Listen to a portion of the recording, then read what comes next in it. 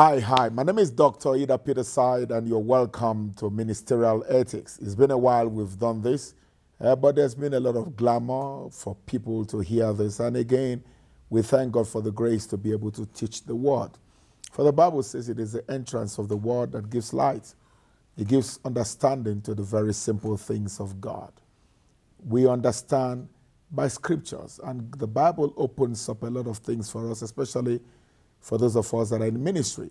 And there are people in the ministry that have not been taught because it is always difficult to teach ministerial ethics when you are pastoring a particular church and you're pastoring your own pastors.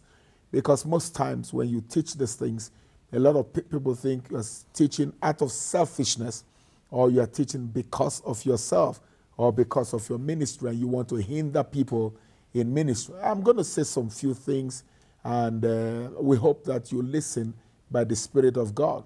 You are not watching this program by mistake or by chance. You are watching this program because God has put this program for you to hear. It is like a Bible school. And for, for, for a while, God has been putting pressure on me to teach on ministerial ethics because there are people that were not really trained or people that have not received enough training or church members that want to go into ministry or pastors that are serving in other ministry that want to be in ministry.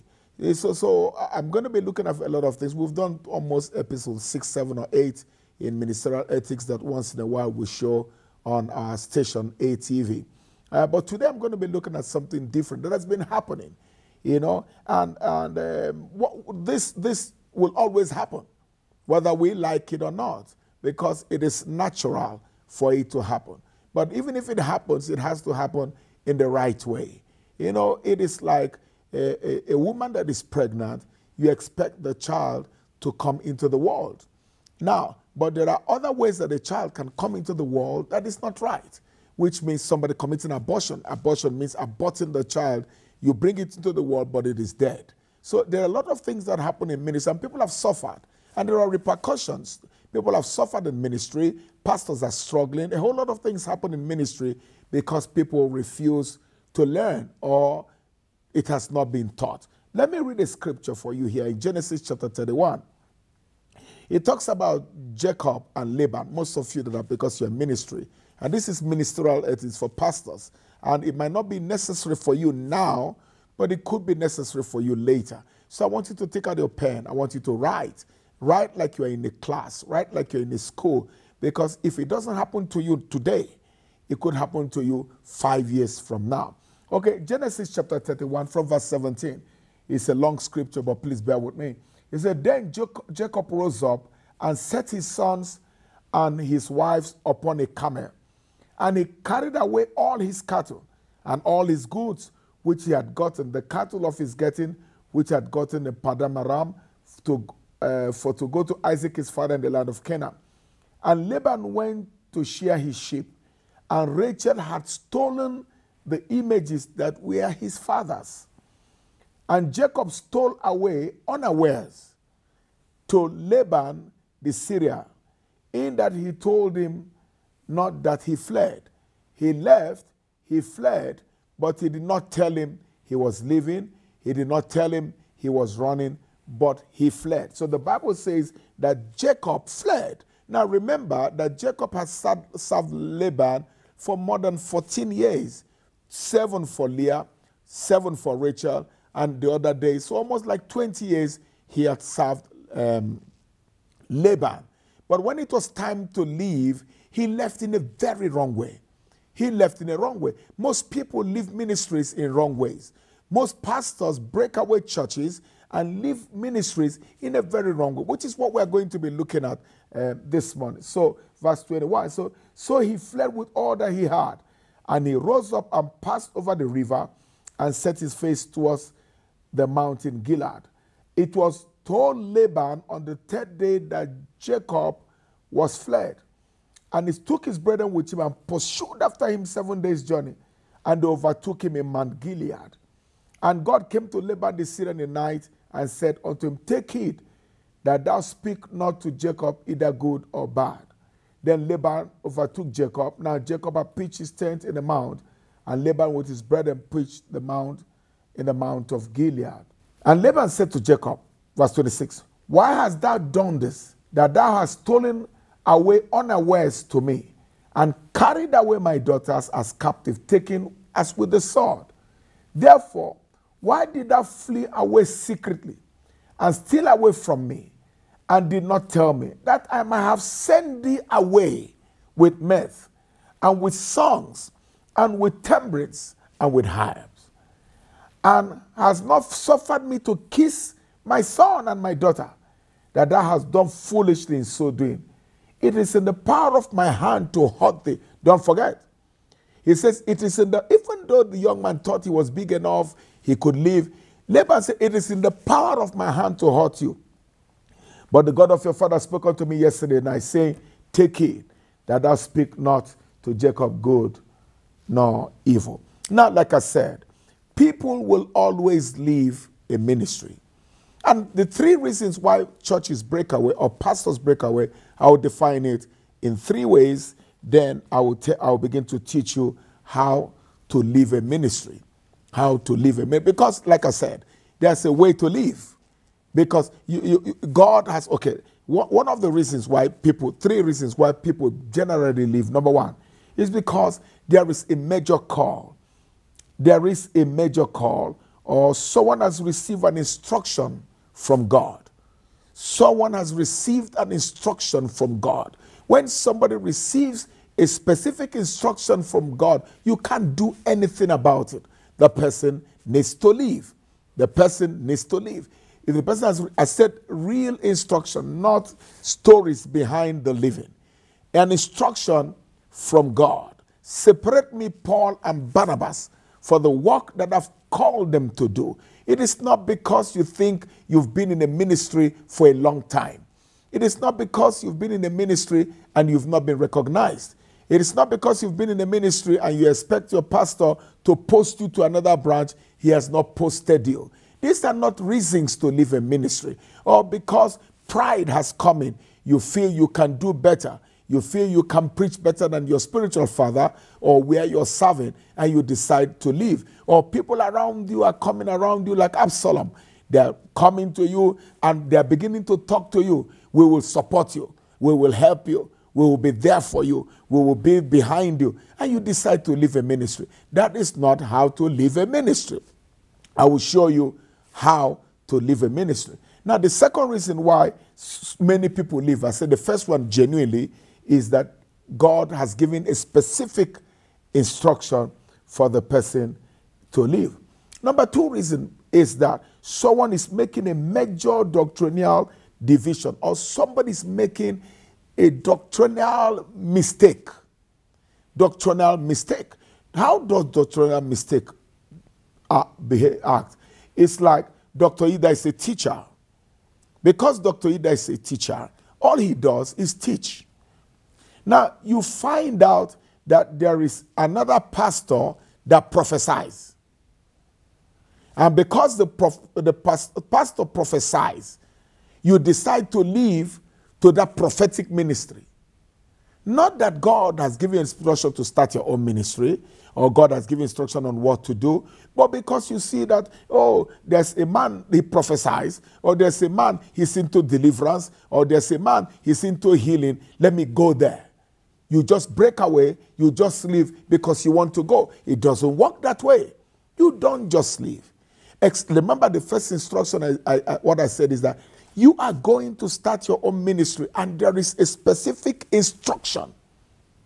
Now, the instruction could be go and start me a healing ministry, go and start me a prophetic ministry, go and start me, not because you see you just want to go because you, you are excited about prophetic ministry or about deliverance ministry or about teaching ministry. You don't go that way. It's a wrong way to go. Third reason why people leave is that someone is making a major moral deviation.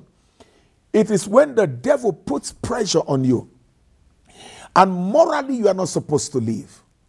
But because something is not right, something is not right with you, or you are caught committing adultery, fornication, or maybe you are corrected, maybe you are told to do things in the right way, and you decide to leave. It is a wrong way to live. When you are in the ministry, you must submit to the authority. You must live a transparent and an honest life. It is not because some people are stealing, you're not, you steal money or you get involved in a wrong relationship and you are corrected. And you say, Who are you to correct me? Who are you to uh, reprimand me? Or they tell you, No, you are doing things in a wrong way. You go late all the time, or the assignment they are giving to you, you are not carrying out those assignments. And you get irritated, and you get angry, and you want to be your own boss, and you decide to leave. These are three major reasons people break up ministries. You know, and, I'm, eh, and I've given you those reasons why people, but I, want to teach you this morning or whatever, wherever you are watching us, I, want to teach you how to live a ministry as a, a subordinate pastor. I'm talking about ministry, I'm not talking about members. Members don't understand that members just go, uh, you know, and I've told people most times when they come, they don't tell you. When they go, they don't tell you. So we're not talking about the sheep here. We're, we're talking about the shepherds. So this is for ministers. This is for ministries. We're talking about those in ministry, those serving in ministry, those that are, you know, those that are in ministry. Don't jump up one day and disappear. We have seen this happen too many times. You know, and whatever you sow, you will reap. Don't get up and carry your bag, boom. What we don't see you. Or you are angry with the pastor or you say the pastor said this, or you say the pastor looked at you in a different way, or the pastor does not honor you the way you want to be honored, or the pastor does not give you opportunity to preach, or the pastor does not uh, um, put you in charge of this department and that department. I'm leaving. I am leaving. No, no, you don't just leave. You don't just leave. So, six or seven ways how to live a ministry. Number one, give ample notice of your intention to leave a ministry. If you're a pastor in the ministry, you are serving in the ministry, prayerfully, and God has given you an instruction, send a notice and say, Sir, I need to talk to you. Or you write a letter if it's difficult to see the man of God. Please, I need to talk to you. Uh, I have this urge that I need to go. And I, the way God is now in the month we're in, is about July. I don't know what month we're in here now. You, you say at the end of the year, in January, I will leave the ministry. And please, I would need your blessing. I would need you to cover me. I would, I'm just coming to let you know, please pray about it too. Let the Spirit of the Lord speak to you about it. I had that when I, when I released Pastor Nash in this church. He came to me months ago. He said, I, I, I, the Spirit of God, you know, is speaking to me that I need to start something uh, different. And, you know, in three months or in six months, I'm going to leave. It wasn't, like I said, living is not easy. Anybody that tells you it's easy to leave or the pastor will release you easily or you just walk. No, no, no, it's not easy. Especially if you're useful in the ministry.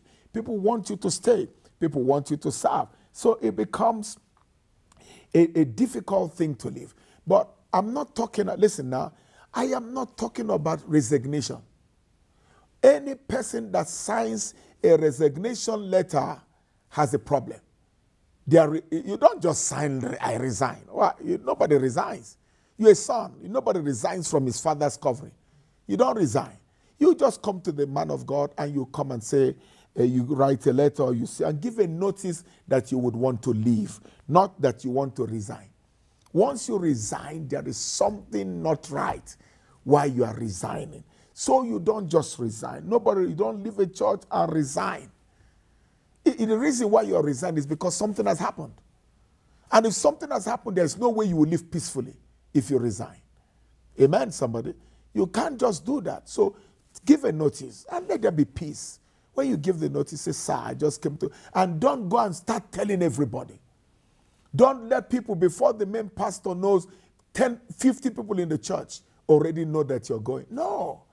You, nobody needs to know you are leaving. Go to your father let him prayerfully. Then he will call you. Okay, what are your instructions? And what are your what are your plans? How do we help you? How do we so you know so many people leave and they expect that the pastor that they're leaving will be happy. Or that the pastor that they're leaving will support them. That no, who will support that kind of thing? You are just you no, we will not support you because you've already left before you left. You've already gone to the members of the church. Why are you going to them? They are not your sheep. They don't belong to you. You are the way you are a son, that's the same way they are sons. The same way everybody's a son. So you you re, you come to the pastor, you write a letter, you make an appointment to see the pastor or the senior pastor of the church, and you tell him, and you say, please prayerfully consider. He will say, What are your plans? When you say, Okay, in six months' time or in three months' time. Don't go and get a hall, get a room, get somewhere, write your ministry name, put ministry rules, and you, and you write a letter. Eh, I'm leaving next week. No, you, you are not a good son. Even the prodigal son came to his father and said, Give me what belongs to me. I need to go. Take your time, give my son, your brother, give my brother, give my sister, give me mine. Let me go. And it was easier when he was about to come back for the man to receive him. Because he left, took his, yes, he took his things what belonged to him. But when he was coming back, he said, the master said, bring, you are my son. What I have is yours. So it is important that that relationship must, must remain. Number two, if you must resign, if you must leave, leave alone. Did you hear me? If you must leave, leave alone. Anybody that says he wants to live with you, discourage the person. Discourage the person. Again, Pastor Nash did that with me. Two or three people came to his church. He called me and told them to go back. Don't be happy to steal. You are, it's like Laban and Jacob and, uh, uh, and the wife stealing from Laban. So Laban said, Why are you taking these things from me like a thief? Don't allow people, oh, you're excited that they are leaving the church where you were and they are coming to your church and they are calling you daddy. They will do the same thing to you. They will do the same thing to you. And I told, I'm always using Pastor Nash because it's one of my sons that I've released there with a lot of joy and peace in my heart. I've released two or three of them, two with peace or three or in my heart. But he has set a precedent. There are some that left without, now they are like vagabonds. They are walking everywhere. They don't know where they are going. Because the same way you left here, the same way they will leave you. Amen? So go alone, leave alone. Leave alone. If somebody tells you, oh, we hear you're leaving, say, listen, listen, that's my father. Stay with him. No, no, no, still. Don't come and say, oh, where, which church are you attending now? I am attending Assemblies of God. It's a better place. We close on time. It's a place to be. You'll be happy if you come there. No, you are, you are, you are, you are, I don't know what to say. You, you know, you are not a son. You are not a son. You are not a son if you do that. So when you want to live, live alone. Live alone. If you want to start a ministry, start a ministry far away from your father. Start, you're not in competition with him. So if you want to live how to live a church, you must live alone. Maybe you take your kindred, your family, take your wife, take your children. There is nothing wrong. There's nothing wrong with that. Number three, as you leave, be grateful to the church and to the man of God you are leaving.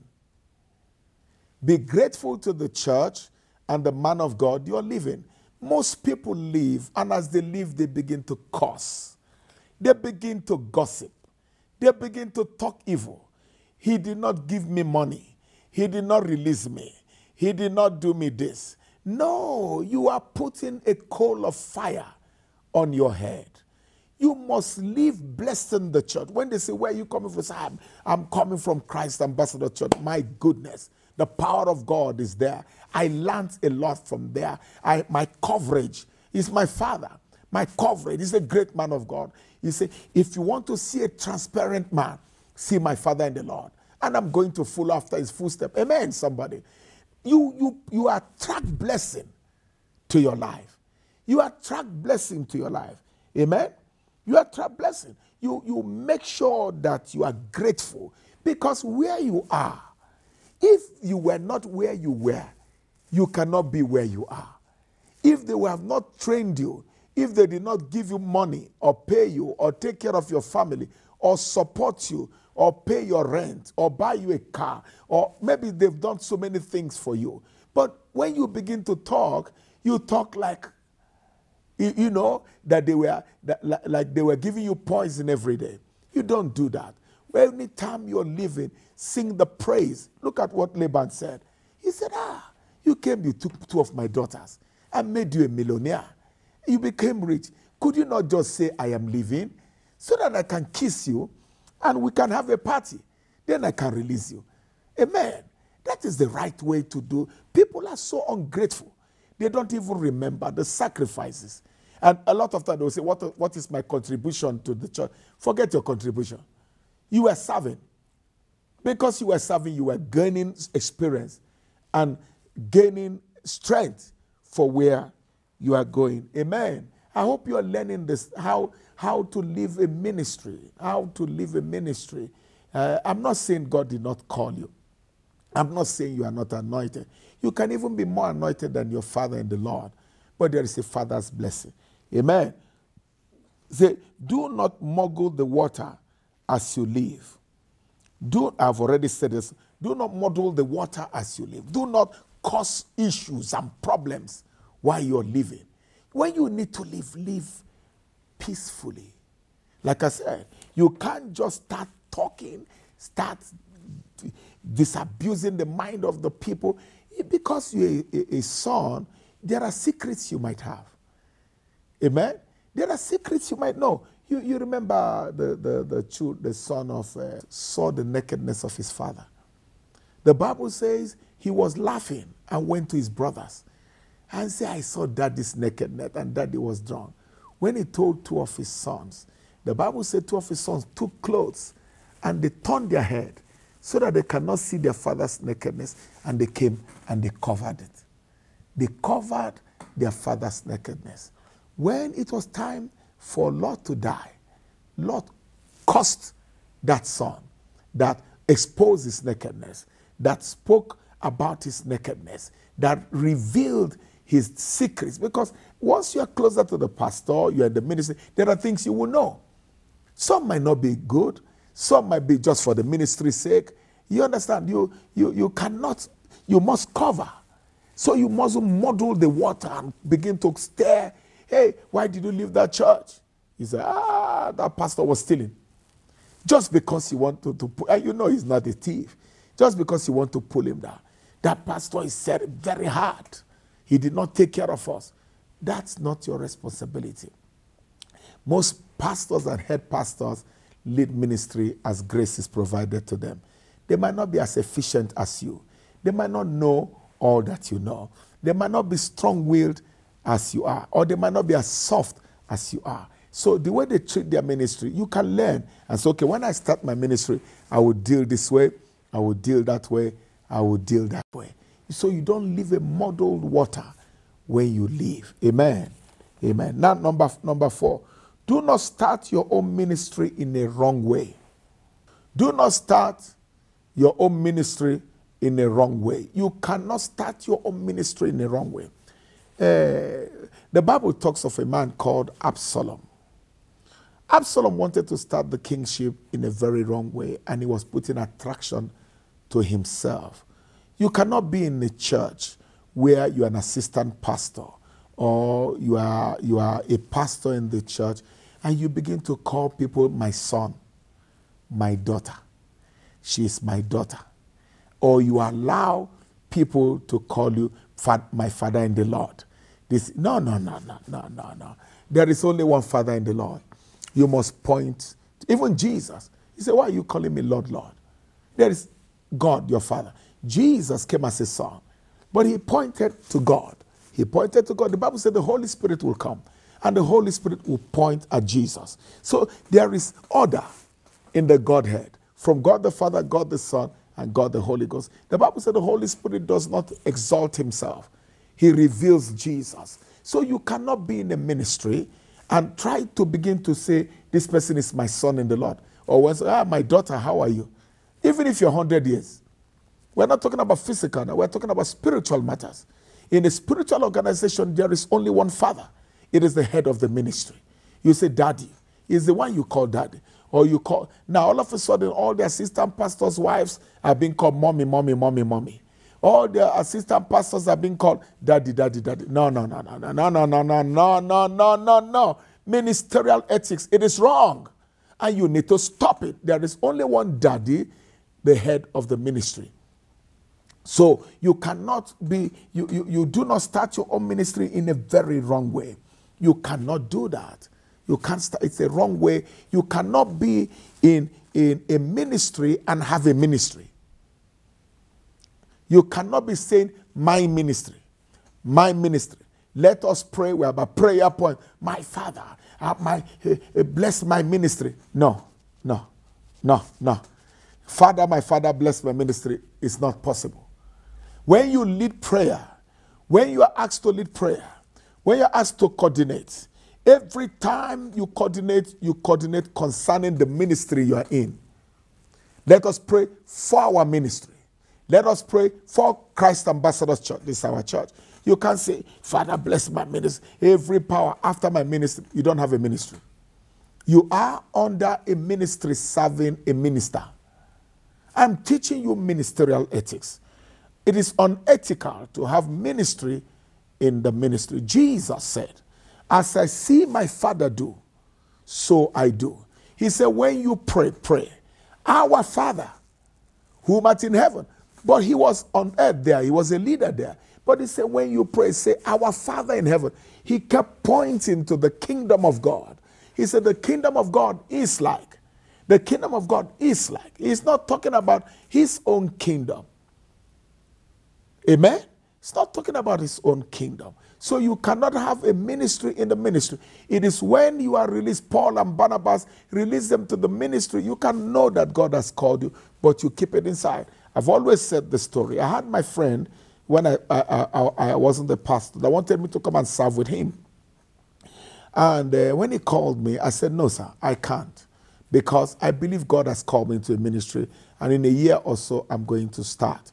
I don't want to come to your ministry and start and be supporting you, and you begin to say, I, I have my own. I have my own ministry, and I don't want to come to serve under you because I'm about to start my own ministry. And about, he was so appreciated, and he became my friend for a very long time. That once in a while he will invite me to come and preach in his church. And when I come to preach in his church, I turn all the focus on him. I'm not even telling people I'm about to start my ministry in the next few years. God has spoken. No, it is wrong to do that. It is wrong to do that. Finally, anytime you're living a ministry, please avoid being cursed.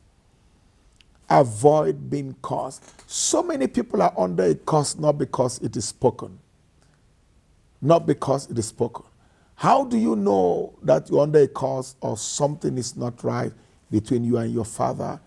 you don't want to see him. You don't want to see him. He doesn't want to see you. He doesn't need to pronounce a curse, but his spirit has rejected you. The same way your spirit has rejected him. But because of the grace he carries, it becomes a problem for you. You don't do that. You don't live with a curse. Every time there is a conference, your father in the Lord is having a conference. Can you freely come into that church? For you to know you are not under a curse. Can you freely come into that ministry or into that church to say, hey, my father in the Lord is having a ministry, or I'm driving past, let me go and greet my father. If you are not able to do that, change your ways. Go back and repent. Go back and apologize to the father in the Lord or the person that you served or your mentor. Go back to him and say, I, have not had peace. I, the things are not has not been right in my spirit because you will carry a cost. Trust me. Whether you whether he says it or he doesn't say it, or when you live in the you leave that church, you say, I don't have any. I don't want to have anything to do with that ministry anymore. You're under a curse, and the God of that house will fight you. If God really called your father, He will fight you to a standstill. You don't live in that way. Amen. You don't, uh, you don't live, you don't live ministries that when you, and again, how do you know you're under a curse? When you left the ministry, did you destroy it? Did you cause confusion when you left? Did you destroy the ministry? Did you carry people along with you? Was your father and the Lord happy with you? Did you live peacefully? I, like I say, I'm here. My son and the Lord could come in the house. I say, You're doing uh, offering for me today, or you're preaching for me today. That's how it should be. Amen. It's like a, a, like a biological son. You know, you, if you come to your father's side, say that, hey, I'm not sure I want to, I want to sleep in the house. Your father will say your room is there. Or because you, maybe all the children have left. The, a, a father that is well-to-do has a house, has two, three rooms. Say, I am tired. Sometimes your, your, your, your, your, your wife, you know, or his stepdaughter can go to the father's house and, with the kids and sleep over. Right? Which means there's peace in the house. Or you can come and say, hey, my children, I need to leave them with grandmama. Your ability to come back to the house is a sign that you're not under a curse. I, I, we want to close. I believe this uh, message has blessed you. We need to get it right. Now, if you've done these things that you are not supposed to do, there is no shame. Make peace. Make sure you go back and start a relationship. It doesn't cost you anything.